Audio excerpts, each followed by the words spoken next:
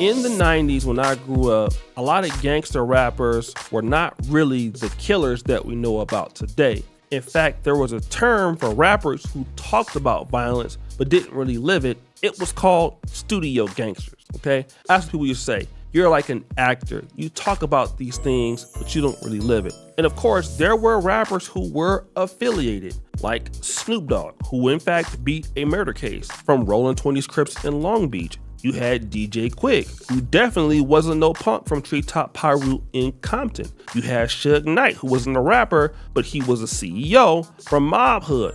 So you had guys who were affiliated, even like Easy E, I believe he's from Nutty Block, but these guys were not like killing machines like we see with some of the guys in today's game. They can make a lot of money just talking about killing and doing drugs, but never living that life. But this is different than the Chicago drill rappers or drill rappers, period. A part of their persona in becoming big in drill is they actually have to live the lifestyle that they're talking about. If they don't, they really can't be a drill rapper for real. So they have to execute these things that they're talking about and basically crash out on their albums. This is true with rappers like King Von, Little Jeff, and now Little Durk. But speaking of Little Jeff, this is the guy who just died like four months ago. He literally got killed trying to kill somebody on tape, basically so he can go back and rap about it on his song. Unfortunately for him, he got shot 19 times and died. But he even talked about it in this particular clip. He was in the cop, patting your hair like this. you man, I'm finna start taking killer school. I'm finna start taking killer school. You gotta have at least two bodies. Hey, now I heard King Von say in one of his songs, "You not a killer unless you got two bodies." Exactly. Now you get it. Damn. So that's real. Shit, real. So if a, if a caught a body on some self defense, that's he's Shit not a killer. Yeah, hell nah. nah. Shit, Nah, okay, you you had do to protect yourself. Yeah, you was scared you- for your you life. was outside. So if you didn't shoot that gun, your was gonna die. I love- be so scared to not die did that they they gonna gun. shoot out of fear. Again, this is a dude that allegedly had 11 bodies and basically was a killing machine in Chicago. Again, this, this is a big part of his rap music, which is actually putting in work. Now, Charleston White, who was basically an enemy to Chicago drill rap and that whole scene, recently made fun of the Little Durk arrest. Somebody laughing at Durk like they were laughing at me when I went to jail. Lord have mercy. so ain't nobody laughing at Durk. Now it ain't funny. Now your favorite rapper go to jail and look like he got a no bond like me. but that boy got a federal no bond. Ooh, I bet that old and closed up. He got a burp to pass gas. he can't even fart out his ass. I know I know the feeling. Boy, they get your they put a hole on you. Boy, booty be tight and I'm sitting on that bench. hey, hey man. Now, all y'all who said my time coming for saying King Von, saying King Von, all his time coming, they go get him. Drake time came for saying Tuka, uh, or is this his karma? I, I don't know. Y'all be so hypocritical when it comes to your favorite rappers. I don't even know. That's all I'm saying, boys and girls. Say, let's make fun of Dirt like y'all made fun of me. Better when y'all thought I got slapped. Look like that boy trouble. Salute to Lil Tim. The demons stay up. I bet he going to PC. Them California niggas try to extort it. One thing we know about California, the Crips and Bloods rule. GD, BD, on phone them, they ain't got no say so nowhere. but when they write a letter to somebody. But in the California prison system, cuz and blood run everything. And Piru, that GD, BD, uh, phone them, mm-mm, it's gonna be hard on his They're gonna be trying to extort him because they know he got money. He might have to pay for a little protection. You know what? He might be all right because he joined Assalamu Alaikum. One thing about it, Assalamu Alaikum, they look out for each other.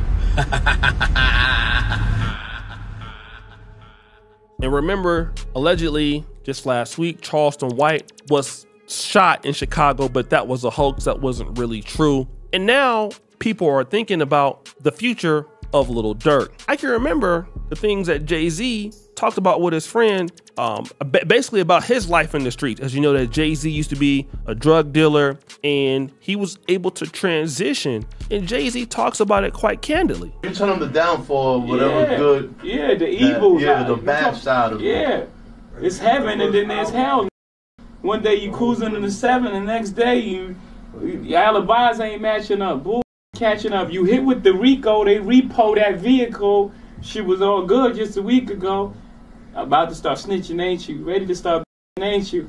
I forgive you. I forgive you. Hustling just ain't you. And again, Jay Z, it just seemed like these lyrics are just as true today as they were just almost 30 years ago. Those lyrics came from Jay Z's Dead President song in 1996. And again, it predicts almost for sure what happened to Little Durk, like to a T. And it's sad. And Brother Tariq Nasheed spoke on the situation in this capacity. It's real out here, and all my guys out here. If you're trying to be in the music industry, be in the music industry. Stop trying to have a foot in the game and, and be in the music industry. Listen, man, y'all better understand all of your moves are being monitored. Y'all can't be out here doing the same stuff you were doing when you were low key. When you are high profile, when you're out here in the public eye, everything you do is monitored, man. They have the hip hop police still. Any high profile black person is being monitored. The feds are on you. They're watching everything you do. There are feds in this room right now. You understand? They monitor you, they watch everything you do. They got feds around you. Some of your bodyguards, some of them might be on the take.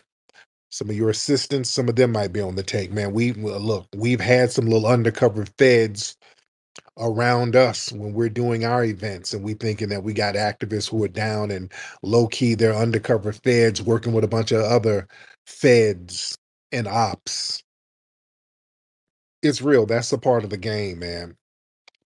So you just got to be on the straight and narrow and just be on the up and up. Because if you're doing good business and you're doing the right thing, the the feds will be somewhat ineffective.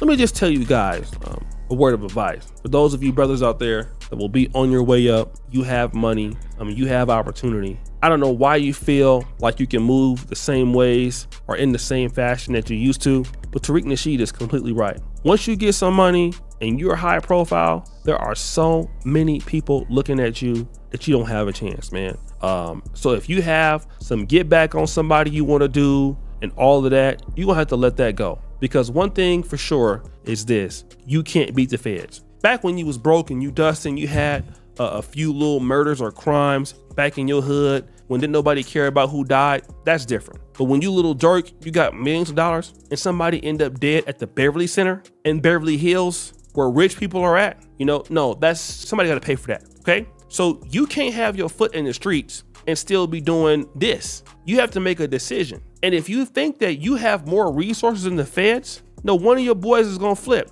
And allegedly, this dude or people in his crew have been getting wiretapped for years. So much so that Lil Durk, he knew the FBI and the feds was on him. He was trying to trick the feds by trying to order multiple tickets out of the country. But you can't trick the feds, bro, when you're a Lil Durk. Where are you gonna go? Where are you gonna hide out at? Come on, fam. Be serious. You're not about to go nowhere. You're known. And I just want everybody to know you can't beat these people, man. You gotta be on the up and up. So if you can't make that transition, I understand. But Little Durk, again, a guy like him, he made his lifestyle by basically rapping about the things that he does. So he's trying to stay true to form. But staying true to form is gonna get his ass locked up for the rest of his goddamn life. Cause you're not gonna be no drill rapper and still be out here involved in drilling and still think you're gonna be out here to come back and talk about it on your albums without the feds using all of that as evidence, which is what they gonna do. And if you think you're gonna get your ass up there and say, oh yeah, well no, this is an art form.